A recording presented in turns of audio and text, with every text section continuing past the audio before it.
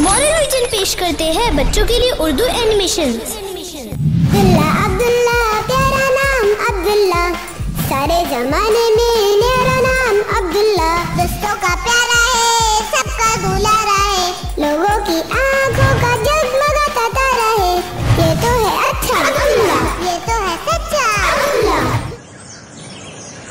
बतुल हम आज जब शाम में खेलने जाएँगे तभी यहाँ से पानी की बोतल लेके जाएँगे। हाँ लेकिन फिर वक्त तो हम स्कूल जा रहे हैं। तो खेलने की नहीं इल्म सीखने की बात करें। वाह ये तो कोई बात नहीं हुई। मैं थोड़ी पढ़ाई छोड़कर अपने खेलने की बात कर रहा हूँ। ठीक है वो रहा सामने जैद भी आ गया। अस्सलाम दोस्तों कैसे हो? अल्हम्दुलिल्लाह। हम ठीक हैं। जैद तुमने होमवर्क कंप्लीट कर लिया? हाँ लेकिन मुझे एक लेसन नहीं समझ में आ रहा है। अस्सलाम वालेकुम अस्सलाम। ओ भोपू कितना खाते हो? जैद ऐसा क्यों कहते हो? जैद ने तो पूरे स्कूल में हर एक का नाम रखा है। और सबकी मज़ाक भी उड़ाते रहता है। किसी को भोपू और किसी को मुस्की इसलिए तो इसके पास आने से सभी भागते हैं। जब वो है ही इतना मोटा तो उसका मज़ाक तो उड़ाना पड़ेगा। जैद ऐसा नहीं क्या करो। क्यों हम किसी को छेड़े और बुरे नाम से पुकारे? इसमें क्या कबाहत है? मोटू को मोटू और भोपू ही तो कहा है मैंने। क्यों मटके मियाँ? कैसे हो? तुम फिर शुरू हो गए जैद। ये बुरी बातें हैं। तुम क्यों किसी को चिढ़ाते हो और उनका मज़ाक बनाते हो? क्योंकि मैं उनसे बहुत अच्छा हूँ और वो मेरे जैसे नहीं है। ये तो तकबर है जैद इसका मतलब तुम लोगों से जलते हो और हसद भी करते हो। हसद करना अच्छी बात थोड़ी है बुरी बात है। तुम ये सब छोड़ दो जैद ताकि हम अच्छे दोस्त बने रहे। मुझे सब पता है और तुम लोग भी मुझसे जलते हो इसलिए मुझे अपने से कमतर साबित करने की कोशिश कर रहे हो। मैं जा रहा हूँ क्लास में नहीं चाहिए मुझे तुम्हारी दोस्ती। जैद को ऐसा नहीं करना चाहिए था। मुझे कुछ करना होगा। आखिर वो मेरा दोस्त है। उमर तुम लोग क्लास में जाओ। मैं अभी आया।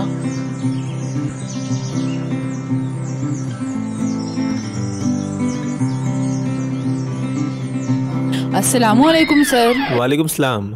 क्या बात है अब्दुल्ला? तुम क्लास छोड़कर यहाँ क्या कर रहे हो? सर मुझे आपसे कुछ ज़रूरी बात करनी थी। अब देर हो रही है। क्लास के बाद बात करते हैं हम लोग। सर बस एक मिनट प्लीज़ ठीक है कहो।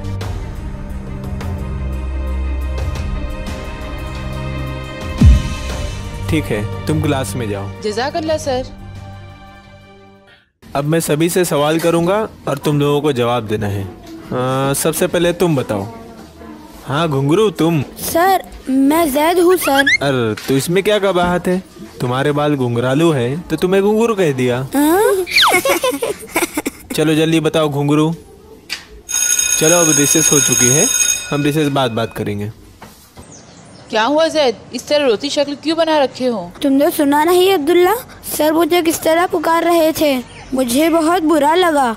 सबके सामने उन्होंने मुझे बेइज्जत कर दिया। मेरा दिल बहुत दुखा है। और जिसका दिल दुखता है अल्लाह उसकी दुआ फ़ौरन सुन लेते हैं। जैद इतने लोगों को चिढ़ाता है और उनका दिल भी दुखाता है। तो क्या उनकी दुआएँ भी कबूल हो जाती होगी? और उन लोगों ने जैद के लिए बुरे बदले की दुआ कर ली तो? हाँ? चलो क्लास में बेल हो चुकी है। तो बच्चों ये थी दीनू और बीनू की कहानी। अब कौन बताएगा कि इससे हमें क्या सबक मिला? सर मैं कहूँ? हाँ कहो उमर। हमें एक दूसरे की मदद करना चाहिए और दूसरों को चिढ़ाना नहीं चाहिए। गुड। और कौन बताएगा?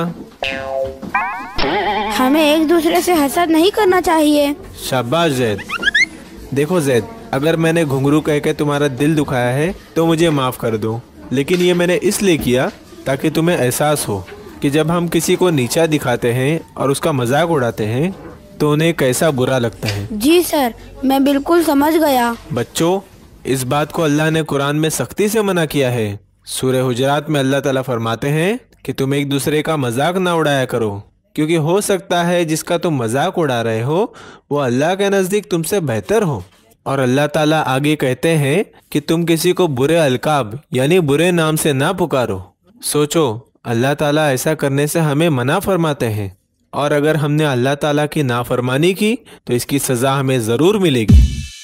उफ वो जहन्नम की आग। चलो बच्चों अल्लाह हाफिज। सुनो मुझे माफ़ कर दो मैं हमेशा तुम्हारा दिल दुखाता आया हूँ। मैं आगे से कभी तुम्हें नहीं चिढ़ाऊँगा और तुम्हारा मज़ाक भी नहीं उड़ाऊँगा। वाह जैद तुम बहुत अच्छे हो।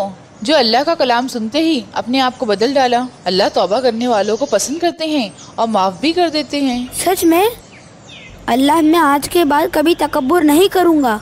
ना ही खुद को सबसे बेहतर समझूँगा और ना ही दूसरों का मज़ाक उड़ाऊँगा और किसी को बुरे नाम से नहीं बुलाऊँगा। वाह अब चलो जल्दी से। मुझे तो बहुत ज़ोर की भूख लगी है। तुम तो हमेशा भूखे ही रहते हो। चलो दोस्तों अल्लाह हाफिज। खेल के मैदान में मिलेंगे।